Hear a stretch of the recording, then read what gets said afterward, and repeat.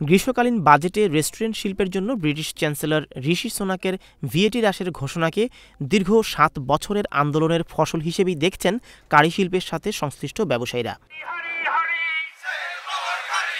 Bangladesh caterers অ্যাসোসিয়েশনের নেতারা বলছেন, সরকারের এই সিদ্ধান্তে আবারও ঘুরে দাঁড়াবে ব্রিটেনের রেস্তোরাঁ শিল্প।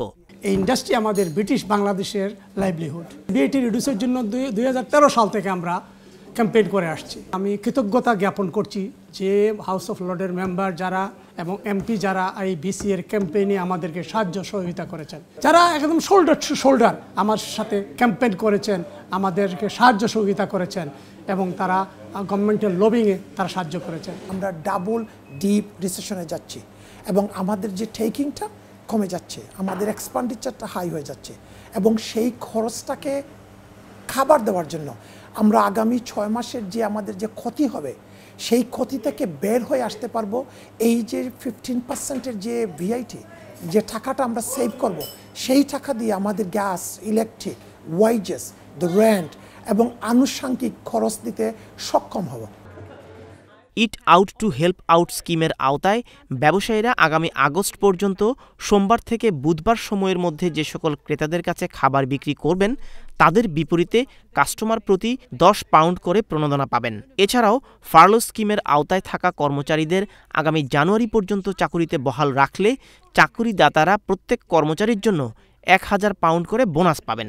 কারি ইন্ডাস্ট্রিকে বাঁচাতে সরকারের তরফ থেকে ভিএটি কমিয়ে আনার সিদ্ধান্তকে রেস্টুরেন্ট ব্যবসায়ীরা স্বাগত জানালেও ব্রিকলেনের পর্যটক নির্ভর রেস্টুরেন্ট ব্যবসায়ীরা বলছেন, গত এক সপ্তাহে তাদের ব্যবসা কমেছে প্রায় নব্বই শতাংশ।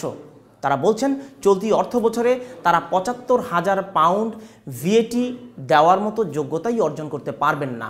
ব্রিকলেনে কিন্তু আমাদের মেইন ব্যবসাটা হচ্ছে ট্যুরিস্টদের নিয়ে। কিন্তু এখানে তো ট্যুরিস্টই আসতেছে না, আমরা ব্যবসা কীভাবে করব? গভর্নমেন্ট বলছে যে আপনারা রেস্টুরেন্ট খুলতে পারবেন। সবাই তো হাতুটে খুব খুশি। এখন খোলার পরে আমরা চার দিনে দশজন কাস্টমার খাওয়াইছি। এখন বিআইটি দিতে হলে তো আমি আপ টু সেভেন্টি ফাইভ থাউজেন্ডে যাইতে হবে। এখন যেই পরিস্থিতি, ওইখানে তো আমি বিশ হাজারেই যেতে পারতেছি না। গভর্নমেন্ট বলছে আমাদেরকে রেস্টুরেন্ট খোলো।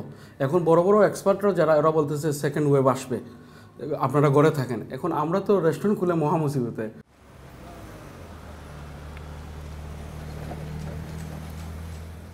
লকডাউন শিথিল হবার পর চালু হওয়া ব্রিকলেনের অধিকাংশ রেস্টুরেন্টই এখন ক্রেতাশূন্য।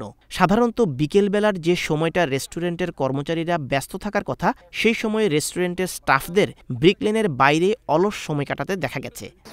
আছিল যে কিছু কর্ম বিজনেস গুয়াটেমালা তো কোনো বিজনেসও নাই বুঝছেন একবারে কোয়াইট ভেরি ভেরি কোয়াইট বুঝছেন এবার টোটাল ডিজাস্টার বুঝছেন আমরা দশ দিনে ধরলেও কা মনে হয় দশজনের কাস্টমারও নাই বুঝছেন দশ দিনে যদি দশজন কাস্টমার হইতো আমি খুশি হইলাম মানে বুঝছেন আশার আলো আমরা দেখতেছি যে অ্যাটলিস্ট আমরা এখন যে বিজনেসটা আমরা রিডিউস হচ্ছে এটাতে আমরা কাভার করতে পারব সরকারকে ধন্যবাদ জানাচ্ছি আর বিসিএকেও ধন্যবাদ জানাচ্ছি তারা যে ক্যাম্পেইনটা করছেন তবে ব্যবসায়ীরা হ্রাসকৃত এই ভিএটি ছয় মাস পর পুনরায় বৃদ্ধি না করে দীর্ঘমেয়াদে বহাল রাখার দাবি জানিয়েছেন।